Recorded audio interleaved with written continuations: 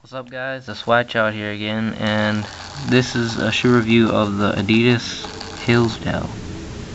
I think that's what it's called, or either the originals.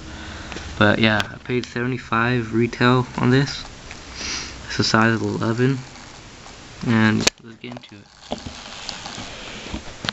Normal Adidas design on the shoebox. And these ones are gray all gray and white. And they're pretty nice. I'm gonna take it out. Kind of stuck in there.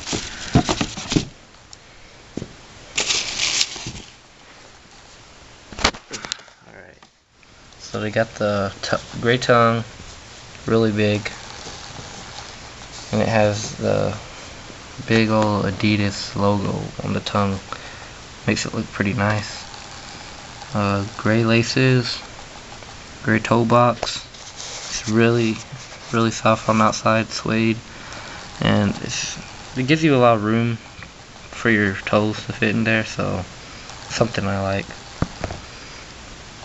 And they got little leather straps right here. No, not straps, but the Adidas logo. It has a grid line going all around the shoe.